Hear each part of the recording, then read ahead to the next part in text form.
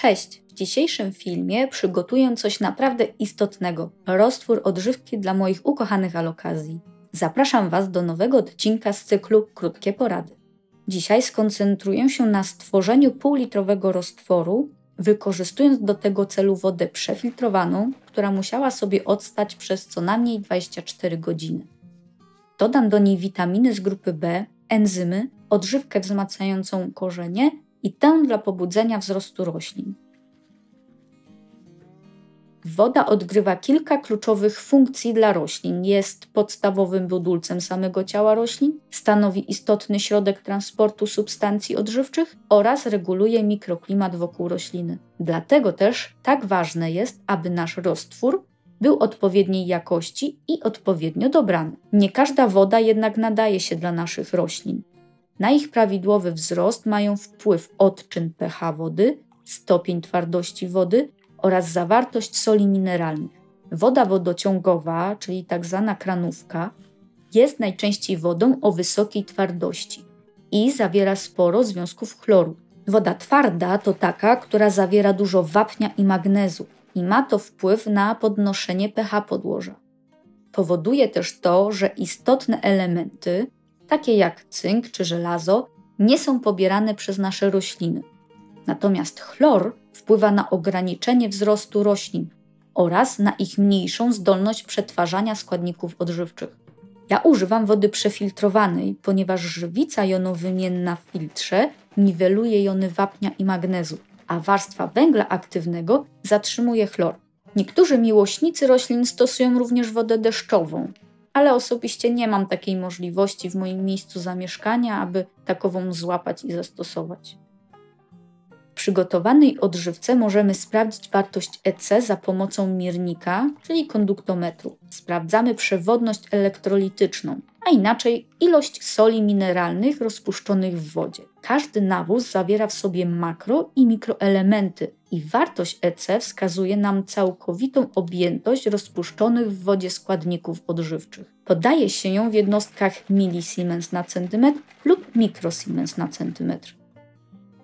Na etykietach znajdują się informacje o ilości potrzebnej na przygotowanie roztworu. Zazwyczaj podawana jest ilość mililitrów na 1 lub 10 litrów wody.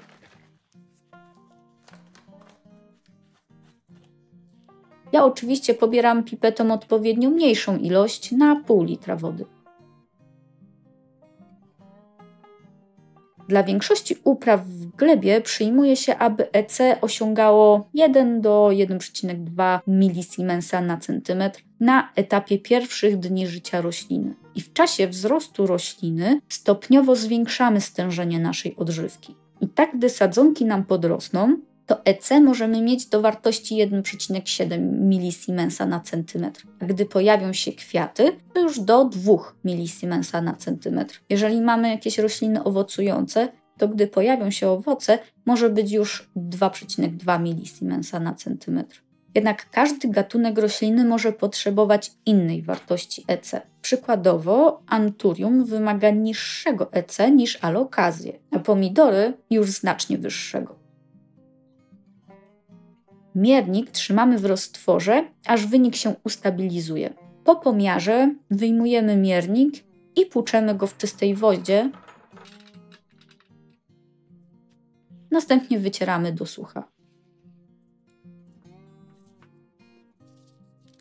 Kolejnym istotnym parametrem jest pH przygotowanego roztworu. pH możemy zmierzyć za pomocą pH-metru, papierków lakmusowych bądź użyć testu kropelkowego.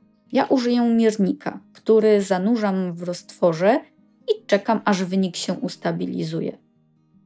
Zależnie od wyniku możemy wpłynąć na jego obniżenie lub podwyższenie, używając gotowego odczynnika. Ja tutaj mam pH powyżej 6,5, więc muszę zakwasić mój roztwór. Dodaję malutką kropelkę. Używam roztworu nazwanego pH-.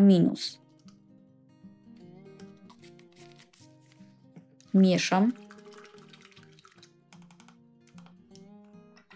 i ponownie sprawdzam pH. Jeśli osiągnęłam zadowalający poziom, płuczę miernik czystą wodą i wycieram do sucha. Przyjmuje się, że pH roztworu do podlewania roślin powinno mieć tak 5,5 do 6,5, czyli lekko kwaśny odczyn. Mierniki powinniśmy co pewien czas kalibrować.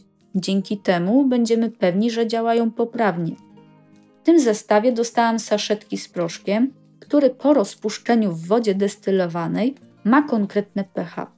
Kalibrujemy urządzenie poprzez włożenie go do przygotowanych buforów i postępowaniu zgodnie z instrukcją. Wodę z kłukania mierniku wlewam do przygotowanego roztworu i jeszcze raz wszystko dokładnie mieszam.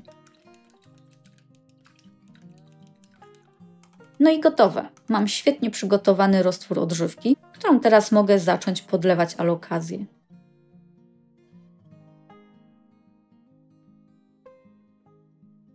Pamiętajcie, że są to rośliny, które uwielbiają mieć dużo składników odżywczych. Swoje rośliny podlewam taką ilością wody, aby trochę wypłynęło na podstawkę. Nie zalewam ich za mocno. Pół litra roztworu to za dużo dla moich alokazji, ale to co mi zostaje, rozcieńczam wodą w 1,5 litrowej butelce i podlewam tym pozostałe rośliny, takie jak filodendrony i monstery. Dziękuję za obejrzenie tego odcinka. Życzę Wam miłego dnia. Cześć!